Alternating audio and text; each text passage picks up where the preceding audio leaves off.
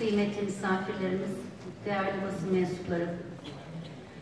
Kadına yönelik şiddete karşı Uluslararası Mücadele Günü vesilesiyle saygıdeğer Emine Erdoğan hanımefendinin teşrifleriyle gerçekleştirdiğimiz programımıza hoş geldiniz diyor. Hepinizi sevgiyle ve saygıyla selamlıyorum.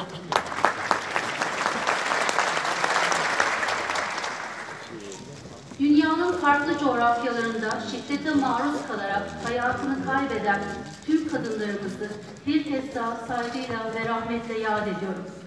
Kadına yönelik şiddet ile sadece bir gün değil, her gün mücadele etmemiz gerektiği bilinciyle bugün kararlı duruşumuzu bir kez daha beraberce göstermek için bir aradayız.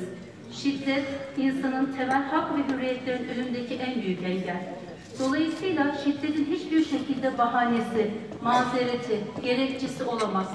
Kalplerin katılaştığı, merhametin kaybolduğu her yerde şiddet potansiyel bir tehlike olarak her zaman vardır. Buna karşı bize düşen merhamet toplumu olmayı hakkıyla başarabilmek. Çünkü merhamet şiddetin tam zıttı.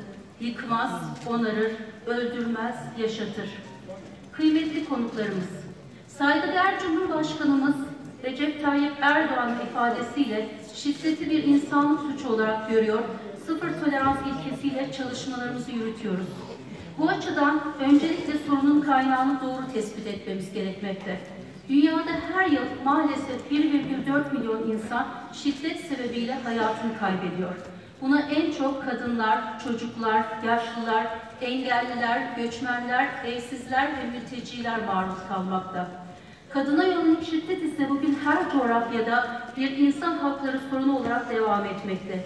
Birleşmiş Milletler verilerine göre dünyada her üç kadından biri yaşamının herhangi bir döneminde fiziksel veya cinsel şiddete maruz kalmakta ve her 10 şiddet mağdurunda yalnızca biri kolluk birimlerine başvuruyor.